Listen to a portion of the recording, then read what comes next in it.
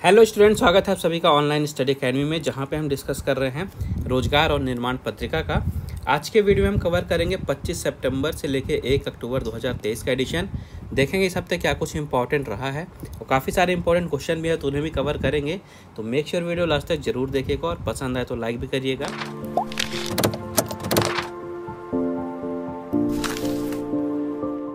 तो शुरुआत करेंगे एक महत्वपूर्ण दिवस से जो कि है विश्व वृद्ध जन दिवस, यानी कि international day of older persons इसे मनाया जाता है हर साल पूरे विश्व भर में एक अक्टूबर को। विश्व वृद्धजन दिवस या कई जगह इसे अंतर्राष्ट्रीय वृद्धजन दिवस के नाम से भी जाना जाता है। इस साल इसके लिए जो थीम रखी गई है, यानी विषय ये है fulfilling the promise of the universal declaration of human rights for older persons across generations लंबी थीम है बट इंपॉर्टेंट है, याद रखनी है आपको। एक बार फिर से सुन लीजिए। Fulfilling the promises of the Universal Declaration of Human Rights for older persons across generations. अब हर साल ये दिन एक अक्टूबर को मनाया जाता है इस दिन को मनाने का मेन एम ये है कि पूरे विश्व भर में जो वृद्ध लोग हैं ओल्ड जनरेशन के लोग हैं, उनके साथ जो भी दुर्व्यवहार होता है, भेदभाव होता है, अन्याय होता है, उसे रोका जा सके और उनके अंदर उनके जो ह्यूमन राइट्स है, उनको बताया जाए, उसके बारे में जागरूकता लाए इसके अलावा जो उनके प्रति सामाजिक व्यवहार है लोगों का, उसमें भी सुधार लाया जाए। इसलिए इसकी शुरुआत की गई थी। तो संयुक्त राष्ट्र आम सभा ने वृद्धों के हितों में ध्यान में रखते हुए 14 दिसंबर 1990 में एक संकल्प पत्र पेश किया था और जिसके बाद पहली बार ये दिन मनाया गया था, एक अक्टूबर उन्नीस सौ इक्यानवे में। तो अब आपको यहाँ से याद क्या रखना है? सबसे पहले तो डेट कि हर साल ये एक अक्टूबर को मनाया जाता है। दूसरी चीज़ इस साल की थीम और सबसे पहली बार कब मनाया गया था? कई बार ऐसे भी क्वेश्चन पूछ लेता है तो सबसे पहली बार 1991 में मनाया गया था इसे। इसका देखते हैं, चर्चा में कौन रहे हैं? तो ये हैं रजनीश कुमार जी, जो कि पहले एसबीआई के प्रमुख रह चुके हैं। तो अभी हाल ही में मास्टर कार्ड इंडिया ने रजनीश कुमार जी को अपना गैर कार्यकारी चेयरमैन नियुक्त किया है। मास्टर कार्ड के अनुसार, जो मास्टर कार्ड की दक्षिण एशियाई कार्यकारी समिति है, उस टीम का नेतृत्व करेंगे ये रजनीश कुमार जी। इसके बाद है नोबल पुरस्कार से न्यूज़। तो नोबल फाउंडेशन ने नोबल पुरस्कार की इस साल की, यानी 2023 की जो राशि है, इनामी राशि है, इसको बढ़ा के एक दशमलव एक करोड़ क्रोनर कर दिया है। एक दशमलव एक करोड़ क्रोनर, यानी कि नौ लाख छियासी हज़ार दो सौ सत्तर अमेरिकी डॉलर। तो ये अमाउंट आपको याद रखना है। नई अमाउंट जो रखी गई है राशि की। इसके अलावा आप लोगों के लिए क्विज़ के लिए क्वेश्चन है कि यहाँ पे आप देख रहे हैं क्रोनर। तो क्रोनर क्या है? क्रोनर है करेंसी किसी देश की मुद्रा है, आप लोग को बताना है कि क्रोनर किस देश की करेंसी है, किस देश की मुद्रा है। तो अपना आंसर आप कमेंट बॉक्स में ज़रूर पोस्ट करिएगा। आगे देखते हैं, यहाँ पे है एक सिक्का जो कि है इंद्रधनुषी सिक्का। हाल ही में जर्मनी में एक नदी के पास ये 2000 साल पुराना दुर्लभ सिक्का मिला है। जो सिक्का है, बताया जा रहा है कि पहली और दूसरी ईसा पूर्व में ढाले गए थे ये सोने के सिक्के। और ये जो सिक्के हैं, इसमें सतहत्तर प्रतिशत सोना, अठारह प्रतिशत चांदी और पाँच प्रतिशत तांबे का मिश्रण यूज़ किया गया है। तो आपको यहाँ से याद रखना है कि जर्मनी में ये सिक्के पाए गए हैं। फिर यहाँ पे एक और सिक्का है, जो कि है द क्राउन कॉइन। तो ये दुनिया का सबसे महँगा सिक्का है। हाल ही में ईस्ट इंडिया कंपनी ने क्वीन एलिजाबेथ द्वितीय की पहली डेथ एनिवर्सरी के टाइम पे एक ये सिक्का जारी किया है। और ये दुनिया का सबसे महँगा सिक्का बताया जा रहा है। इसकी कीमत लगभग एक करोड़ रुपए की है, जिसमें चार किलो सोना भी यूज़ किया गया है और छः हज़ार चार सौ हीरे भी जड़े गए हैं इसमें। ये जो सिक्का है, इसका नाम दिया गया है द क्राउन क्वाइन। तो ये आपको याद रखना है। सिक्के का नाम किसने लॉन्च किया है और कब लॉन्च किया है? तीन चीज़ें। फिर यहाँ पे इंडोनेशिया से न्यूज़ है। अभी हाल ही में संयुक्त राज्य अमेरिका, इंडोनेशिया, ऑस्ट्रेलिया और अन्य सहयोगी राष्ट्रों की जो सेनाएँ हैं, इन्होंने इंडोनेशिया के जो जावा है, इंडोनेशिया का द्वीप है जावा। यहाँ पे एक युद्ध अभ्यास किया है। संयुक्त राज्य अमेरिका, इंडोनेशिया और ऑस्ट्रेलिया ने। फिर यहाँ पे हैं बॉलीवुड एक्टर आयुष्मान खुराना। तो इनको अभी हाल ही में टाइम हंड्रेड इम्पैक्ट अवार्ड के लिए चुना गया है। तो ये जो दूसरी बार हो रहा है कि इन्हें टाइम हंड्रेड इम्पैक्ट अवार्ड के लिए चुना गया है। और एक इस अवार्ड के लिए चुने जाने वाले एकमात्र भारतीय हैं साल आयुष्मान खुराना। तो इनका नाम याद रखना है आपको। फिर यहाँ पे युगांडा से न्यूज़ है। युगांडा के एक एनजीओ संगठन में एक वर्ल्ड रिकॉर्ड बनाया है। यहाँ पे जो एनजीओ था, उसकी नौवीं सालगिरह थी और इसी के दौरान संगठन के 926 लोगों ने इकट्ठा तीन घंटे सोलह मिनट तक ताली बजाई और इस कारण से इन इसका नाम जो है गिनीज वर्ल्ड रिकॉर्ड में शामिल किया गया है। तो युगांडा से न्यूज़ है। इसके बाद एक और विश्व रिकॉर्ड है, जो कि है जैच सोप के नाम ठीक है जैच सोप। इन्होंने एक साल में सात सौ सतहत्तर फ़िल्में देखी हैं और नया गिनीज वर्ल्ड रिकॉर्ड बनाया है। इसके पहले जो रिकॉर्ड था 715 फ़िल्मों का था और अब नया रिकॉर्ड है 777 फ़िल्मों का जैच सोप के नाम। फिर यहाँ पे दुनिया का सबसे लंबा डॉग था, जिसका हाल ही में निधन हो गया है, इसको डॉग ज्यूस कहा जाता था, इसका नाम ज्यूस था। तो हाल ही में इसका निधन हो गया है। इसका जो नाम था, गिनीज वर्ल्ड रिकॉर्ड में शामिल किया गया था। दुनिया का सबसे लंबा डॉग था ये, तीन फीट पाँच दशमलव आठ इंच इसकी हाइट थी और हाल ही में कैंसर से इसका निधन हुआ है। तो यहाँ से आपको इसका नाम याद रखना है। इसके बाद है यहाँ पे फ्रैंक रूबियो। तो ये अंतरिक्ष यात्री हैं और हाल ही में ये आईएसएस यानी इंटरनेशनल स्पेस स्टेशन पे सबसे ज़्यादा दिन बिताने का इन्होंने रिकॉर्ड बनाया है। तो फ्रैंक रूबियो जो हैं, ये अमेरिका की अंतरिक्ष एजेंसी, नासा के अंतरिक्ष यात्री हैं और हाल ही में इन्होंने अंतर्राष्ट्रीय अंतरिक्ष स्टेशन यानी आईएसएस में 371 दिन बिताए हैं और नया रिकॉर्ड कायम किया है। पहले जो रिकॉर्ड था, ये 355 दिन का था और अब फ्रैंक रूबियो ने 371 दिन बिताए हैं यहाँ पे और नया रिकॉर्ड बनाया है। फिर हैं निहार मालवीय। तो भारतवंशी हैं निहार मालवीय। इनको न्यूयॉर्क में अंतर्राष्ट्रीय प्रकाशन समूह पेंगुइन रैंडम हाउस का स्थायी मुख्य कार्यकारी अधिकारी बनाया गया है। ठीक है? मुख्य कार्यकारी अधिकारी बन गए हैं पेंगुइन रैंडम हाउस के निहार मालवीय। फिर लुधियाना से न्यूज़ है यहाँ पे, देश का तीसरा डॉग पार्क खुला है। और बात करें तो उत्तर भारत का पहला डॉग पार्क होगा। भारत का तीसरा डॉग पार्क है और उत्तर भारत का पहला डॉग पार्क है। कहाँ खोला गया है? लुधियाना में। तो डॉग पार्क होता क्या है? ये एक तरह के केंद्र बनाए जाते हैं जहाँ पे लोग अपने कुत्तों को टहलाने के लिए, व्यायाम कराने के लिए और प्रशिक्षण के लिए ले जाते हैं। तो भारत में तीन हैं। इसके पहले हैदराबाद और मुंबई में खुला हुआ था और अभी लुधियाना में खुल गया है, जो कि उत्तर भारत का पहला डॉग पार्क है। आगे यहाँ पे न्यूज़ है, उपराष्ट्रपति श्री जगदीप धानखड़ जी हैं। इन्होंने आज़ादी के अमृत महोत्सव के अवसर पे देश में प्रदर्शन कला के क्षेत्र में चौरासी कलाकारों को संगीत नाटक अकादमी अमृत पुरस्कार प्रदान किए हैं, चौरासी। और ये शॉर्ट लिस्ट किए गए हैं, ये वो कलाकार हैं जिनकी उम्र पचहत्तर वर्ष से अधिक है और इन्होंने अब तक अपने करियर में कोई भी राष्ट्रीय सम्मान नहीं प्राप्त किया है। तो ऐसे चौरासी लोगों को, कलाकारों को संगीत नाटक अकादमी अमृत पुरस्कार प्रदान किए गए हैं। इसके बाद सूचना एवं प्रसारण मंत्रालय में सचिव श्री अपूर्व चंद्रा जी हैं। इन्होंने भारत की जी ट्वेंटी की अध्यक्षता पर पीपल्स जी ट्वेंटी नामक ई पुस्तक का अनावरण किया है। आप सभी को पता है कि जी ट्वेंटी की जो अध्यक्षता थी इस साल, किसके पास थी? भारत के पास। भारत ने इसके लिए थीम रखी थी वासुधैव कुटुम्बकम। और अब ये जो प्रेसिडेंसी है, अध्यक्षता है, कहाँ चली गई है? ब्राज़ील के पास। तो ये पॉइंट याद रखने हैं। तो हाल ही में इसी जी ट्वेंटी की अध्यक्षता पर एक ई पुस्तक थी पीपल्स जी ट्वेंटी जिसका अनावरण किया गया है अपूर्व चंद्रा जी के द्वारा। और अपूर्व चंद्रा जी कौन है? भारत के सूचना एवं प्रसारण मंत्रालय में सचिव हैं ये। फिर यहाँ पे राष्ट्रपति श्रीमती द्रौपदी मुर्मू जी हैं इन्होंने। नई दिल्ली में मानव अधिकारों पर एशिया प्रशांत फोरम की वार्षिक आम बैठक और द्विवार्षिक सम्मेलन का उद्घाटन किया है। तो याद क्या रखना आपको? कि मानव अधिकारों पर एशिया प्रशांत फोरम की वार्षिक आम बैठक और द्विवार्षिक सम्मेलन का उद्घाटन कहाँ पे किया गया है? नई दिल्ली में। किसके द्वारा किया गया है? राष्ट्रपति श्रीमती द्रौपदी मुर्मू जी के द्वारा। इसके बाद यहाँ पे नवीन एवं नवीकरणीय ऊर्जा मंत्रालय के प्रशासनिक नियंत्रण के तहत भारत सरकार की एक मिनी रत्न श्रेणी वन उद्यम है। भारतीय नवीकरणीय ऊर्जा विकास एजेंसी, यानी कि I R E T A तो इन्होंने बैंक ऑफ़ महाराष्ट्र के साथ एक महत्वपूर्ण समझौता ज्ञापन पर हस्ताक्षर किए हैं। I R E D A ने बैंक ऑफ़ महाराष्ट्र के साथ एक एम ओ यू पे साइन किए हैं, जिसका मेन एम ये है कि भारत में नवीकरणीय ऊर्जा परियोजनाओं के विविध स्पेक्ट्रम के लिए कोलेंडिंग और लोन सिंडिकेशन को बढ़ावा देना और उसको सुविधा प्रदान करना। फिर यहाँ पे अभी आपने रिसेंट में डिस्कस किया कि भारत की जो जी ट्वेंटी अध्यक्षता थी, ये समाप्त हो गई है और इसके तहत अभी हाल ही में G twenty framework working group की चौथी और अंतिम बैठक अभी हाल ही में रायपुर, छत्तीसगढ़ में सफलतापूर्वक संपन्न हुई है। ये जो बैठक है, आपको याद रखना है कि कहाँ पे हुई है? रायपुर में। और इस बैठक की सह अध्यक्षता की है भारत और ब्रिटेन ने मिलके।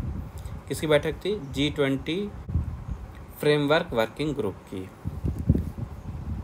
फिर यहाँ पे भारत सरकार ने एक नया अवार्ड का अनाउंसमेंट किया है। इन्होंने विज्ञान, प्रौद्योगिकी और नवाचार के क्षेत्र में राष्ट्रीय पुरस्कारों की एक श्रेणी नई स्थापना की है, जो कि है राष्ट्रीय विज्ञान पुरस्कार। ठीक है? ये नई श्रेणी आई है राष्ट्रीय पुरस्कारों के तहत राष्ट्रीय विज्ञान पुरस्कार। और ये जो पुरस्कार है, इनका एम है भारत में विज्ञान, प्रौद्योगिकी और जो भी प्रौद्योगिकी के पे आधारित नवाचार हैं, इनको बढ़ावा देना। ये जो पुरस्कार है, ये भारत में विज्ञान, प्रौद्योगिकी और नवाचार के क्षेत्र में सर्वोच्च पुरस्कारों में से एक माना जाएगा। तो कौन सा पुरस्कार है? राष्ट्रीय विज्ञान पुरस्कार, ये याद रखना है। फिर यहाँ पर रेलवे बोर्ड से न्यूज़ है तो रेलवे बोर्ड ने अभी हाल ही में अनाउंसमेंट किया है कि दुर्घटना में जो भी मुआवजा मिलता था, उसको लगभग दस गुना बढ़ाया गया है। जैसे कि अगर कोई व्यक्ति गंभीर रूप से घायल होता है तो उस व्यक्ति को पहले पच्चीस हज़ार दिए जाते थे, अब ढाई लाख दिए जाएँगे। मामूली चोट लगने में पहले पाँच हज़ार दिए जाते थे, अब पचास हज़ार दिए जाएँगे। और अगर किसी की मृत्यु हो जाती है तो पहले उसे पचास हज़ार रुपये दिए जाते थे उनके परिजनों को और अब उन्हें पाँच लाख रुपये की सहायता दी जाएगी। फिर यहाँ पे एक अवार्ड है, जो कि अभी हाल ही में मध्य प्रदेश को मिला है। तो ऊर्जा विकास निगम को, मध्य प्रदेश का जो ऊर्जा विकास निगम है, उसको ऊर्जा साक्षरता की दिशा में किए गए उनके प्रयास के लिए सीम स्टार परफॉर्मेंस अवार्ड 2022 मिला है। कौन सा अवार्ड है? सीम स्टार परफॉर्मेंस अवार्ड 2022 दिया गया है।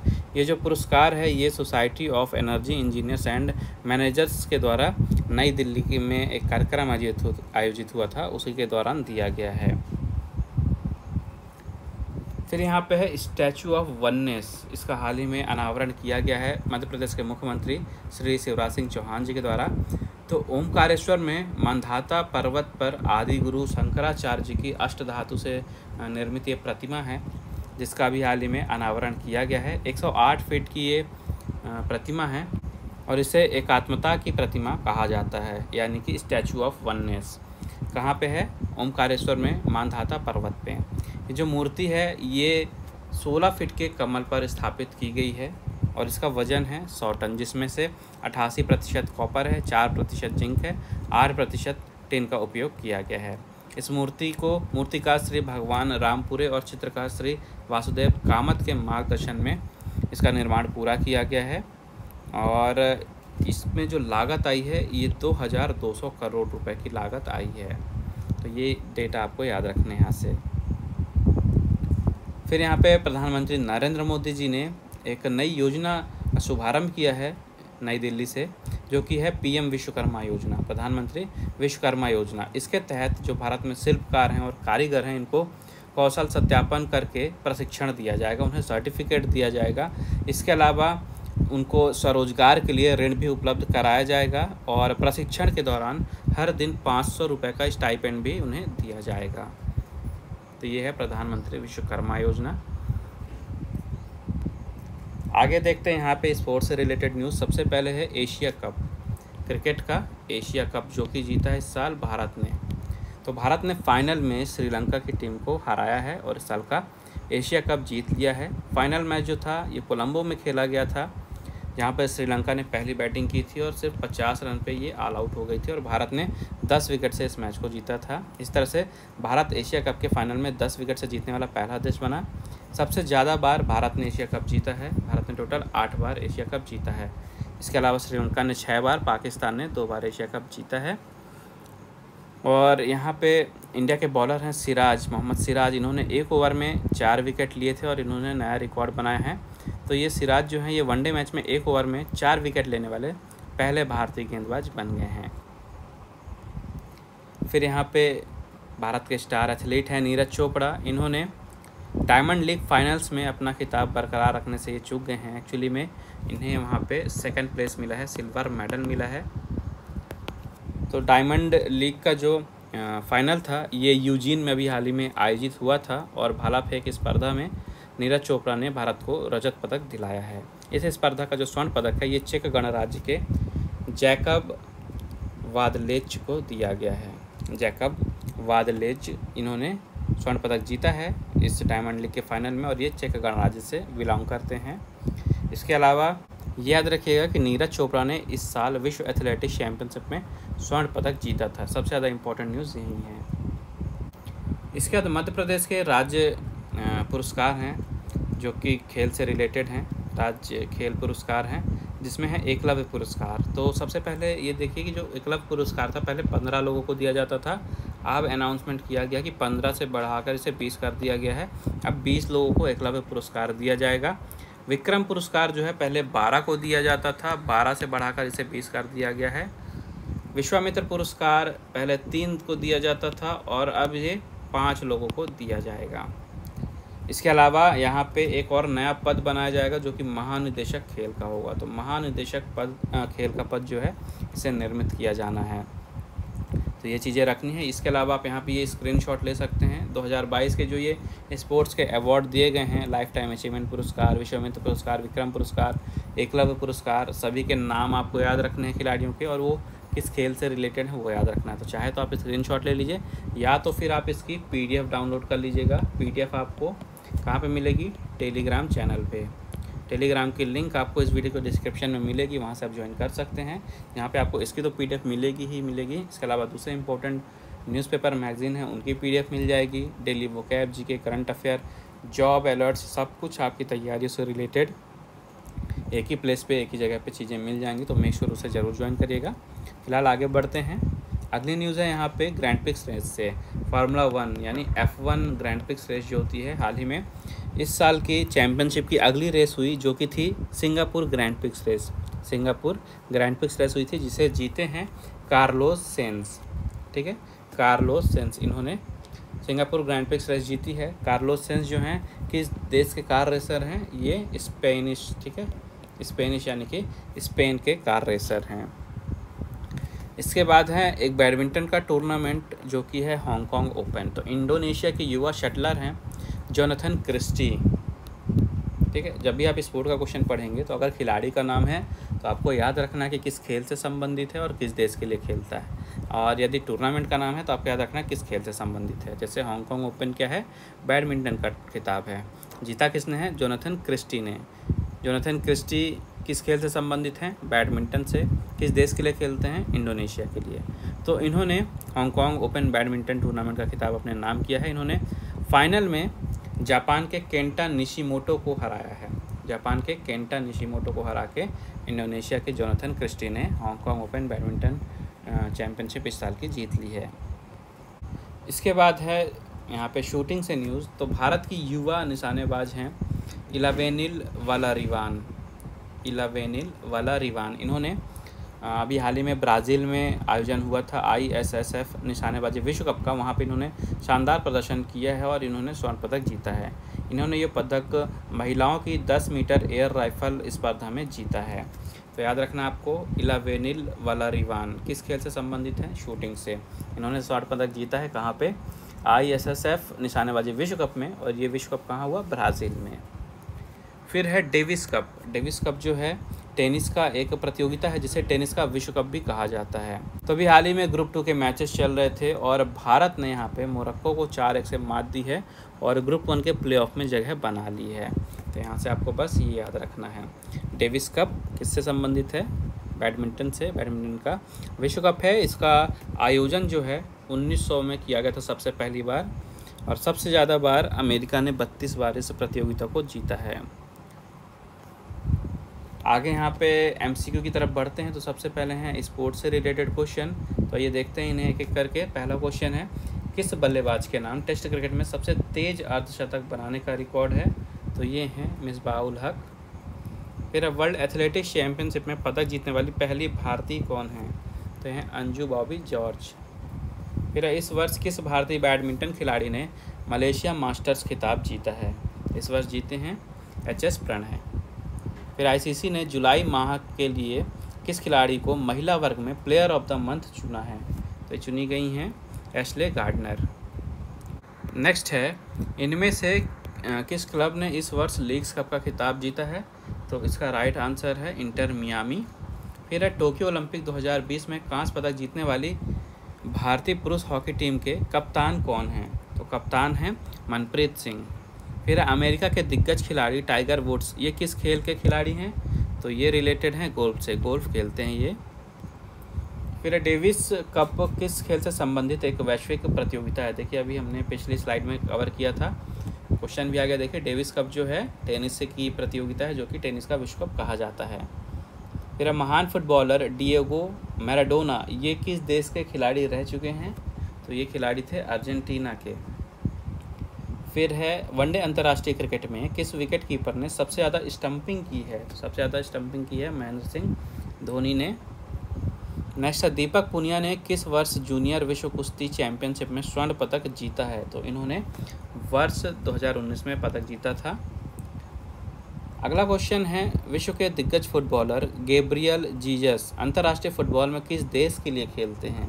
तो अंतर्राष्ट्रीय लेवल पर ये खेलते हैं, ब्राज़ील के लिए। फिर है मेहुली घोष। ये किस खेल में भारत का प्रतिनिधित्व करती हैं? तो ये प्रतिनिधित्व करती हैं निशानेबाजी में। फिर भारत में किस वर्ष राष्ट्रमंडल खेलों का आयोजन किया जा चुका है? तो भारत में आयोजन किया गया था वर्ष 2010 में। फिर है इनमें से किस महिला फुटबॉलर ने अंतर्राष्ट्रीय फुटबॉल में सबसे ज़्यादा गोल किए हैं? तो सबसे ज़्यादा गोल किए हैं क्रिस्टीन सिंक्लेयर ने। नेक्स्ट है इनमें से किस देश ने इस वर्ष किंग्स कप फुटबॉल टूर्नामेंट जीता है? तो इस वर्ष जीती है इराक की टीम। फिर सिंसिनाटी ओपन 2023 में महिला एकल वर्ग का खिताब किसने जीता है? तो इस वर्ष जीती हैं कोको काफ। फिर है, पहले एशियाई खेलों का आयोजन किस शहर में किया गया था? इसका राइट आंसर है नई दिल्ली। फिर वर्ष 2019 में किस देश ने रग्बी वर्ल्ड कप जीता था? तो ये जीता गया था दक्षिण अफ्रीका की टीम के द्वारा। 2019 की बात हो रही है तो रग्बी विश्व कप में 2019 में दक्षिण अफ्रीका ने जीता था। फिर फीफा वुमेन वर्ल्ड कप 2023 में किस खिलाड़ी को सबसे ज़्यादा गोल करने के लिए गोल्डन बूट पुरस्कार दिया गया है? यहाँ पे फीफा वुमेन वर्ल्ड कप की बात हो रही है, ध्यान रखिएगा। तो इस साल ये पुरस्कार दिया गया है हिनाता मियाजावा को। फिर वर्ष 2018 में राष्ट्रमंडल खेल किस शहर में आयोजित किए गए थे, ये बताना है। तो ये आयोजित किए गए थे गोल्ड कोस्ट में। फिर भारत की पुरुष हॉकी टीम के वर्तमान मुख्य कोच कौन हैं? तो वर्तमान में मुख्य कोच हैं क्रेग फुलटन। फिर है सुधीर रमन कप, ये किस खेल से संबंधित एक प्रतियोगिता है, ये बताना है। तो सुधीर रमन कप जो है, ये संबंधित है बैडमिंटन से। अगला क्वेश्चन है, इस वर्ष फ्रेंच ओपन में महिला एकल वर्ग में किस खिलाड़ी ने खिताब जीता है? तो इस वर्ष महिला एकल वर्ग जीता है ईगा स्वेतेक ने। फिर है, भारत ने इस वर्ष इंटर कॉन्टिनेंटल कप के फाइनल में किस देश को हराकर खिताब जीता है? तो भारत ने इस वर्ष हरा है लेबनान को। फिर है, यहाँ पे सामान्य ज्ञान के कुछ क्वेश्चन यहाँ पे पहला क्वेश्चन देखिए, मध्य प्रदेश में निम्नलिखित में से कौन सा स्थान पापियर माशे यानी पेपर मेश में शिल्प में माहिर है? तो ये है उज्जैन, ये पापियर माशे के शिल्प में माहिर है। फिर है कवि और पत्रकार बालकृष्ण शर्मा। इनका जन्म मध्य प्रदेश में किस स्थान पे हुआ था? तो इनका जन्म हुआ था शाजापुर में। फिर मध्य प्रदेश में रेडीमेड गारमेंट कॉम्प्लेक्स कहाँ पे है? तो यह है इंदौर में। फिर है मड़ीखेड़ा बाँध मध्य प्रदेश में कहाँ पे है? किस ज़िले में है? तो मध्य प्रदेश के शिवपुरी में है मड़ीखेड़ा बाँध। फिर मध्य प्रदेश में उन्नत सामग्री और प्रक्रिया अनुसंधान संस्थान। इसके जो स्थापना है, ये किस वर्ष की गई थी, ये बताना है। इसकी स्थापना की गई थी उन्नीस सौ इक्यासी में। फिर किस नदी को मध्य प्रदेश की स्वर्ण नदी के रूप में जाना जाता है? तो ये है सोन नदी, इसे मध्य प्रदेश की स्वर्ण नदी के नाम से जाना जाता है। फिर आपको बताना निम्नलिखित में से कौन सा नृत्य जो है, ये पारंपरिक रूप से मध्य प्रदेश की बैगा और गोंड जनजाति की महिलाओं द्वारा किया जाता है? तो ये नृत्य है, रीना नृत्य। फिर है, Madhya Pradesh plastic park development corporation limited, ये किस स्थान पे है? तो ये है पुष्पराजगढ़, जो कि है अनूपपुर में। फिर आपको बताना निम्नलिखित में से किस नदी के नाम पर एक भारतीय नौसेना पोत का नामकरण हुआ है? तो ये है बेतवा नदी। फिर है बावन गजा, जो कि एक महत्वपूर्ण जैन तीर्थ स्थान है। आपको बताना कि मध्य प्रदेश के किस ज़िले में है? तो ये मध्य प्रदेश के बड़वानी ज़िले में है। फिर टाइम बैंक की अवधारणा रखने वाला भारत का पहला राज्य कौन सा है? तो ये है मध्य प्रदेश। फिर मध्य प्रदेश का कौन सा शहर कोविड नाइन्टीन के समय से शहर को सैनिटाइज करने वाला भारत का पहला शहर बना था? तो ये शहर है इंदौर। फिर है, मध्य प्रदेश में एसौर महान पावर प्लांट किस ज़िले में है? तो यह है सिंगरौली में। फिर है, धूपगढ़ या धूपगढ़ पर्वत श्रृंखला। मध्य प्रदेश में से किस पर्वतीय स्थल पे है ये? तो ये है पचमढ़ी में। फिर है मध्य प्रदेश में मुख्यमंत्री कन्या विवाह योजना कब शुरू की गई थी? तो ये शुरू की गई थी 2006 में। फिर है मध्य प्रदेश में मिर्च महोत्सव यानी चिली फेस्टिवल का आयोजन किस शहर में किया जाता है? तो ये होता है खरगोन में। नेक्स्ट है, अगस्त 2020 में ग्वालियर चंबल एक्सप्रेसवे को निम्न में से किस नेता के नाम पर प्रस्तावित किया गया था? तो इन्हें ये जो ग्वालियर चंबल एक्सप्रेसवे था। इसे अटल बिहारी वाजपेयी जी के नाम पर प्रस्तावित किया गया था। फिर है, मध्य प्रदेश में उन्नत सामग्री और प्रक्रिया अनुसंधान संस्थान का प्रधान कार्यालय कहाँ है? तो ये है भोपाल में। फिर है, मध्य प्रदेश में आदमगढ़ पहाड़ी कहाँ पे है? तो यह है नर्मदापुरम में। नेक्स्ट है, मध्य प्रदेश सरकार के द्वारा महिलाओं को अगस्त 2020 में घर पर मास्क बनाकर कमाने के लिए शुरू की गई थी एक योजना थी, उसका नाम क्या है? तो उसका नाम था जीवन शक्ति योजना। फिर है मध्य प्रदेश पर्यटन बोर्ड जो है, इसकी स्थापना कब हुई थी? मध्य प्रदेश पर्यटन बोर्ड की स्थापना हुई थी 2017 में। नेक्स्ट बताना है, मध्य प्रदेश के भिंड ज़िले में स्थित वनखंडेश्वर मंदिर हैं। इनमें ये जो मंदिर है, इसको बनाया किसके द्वारा गया था, ये बताना है। तो इसको बनाया गया था पृथ्वीराज चौहान के द्वारा।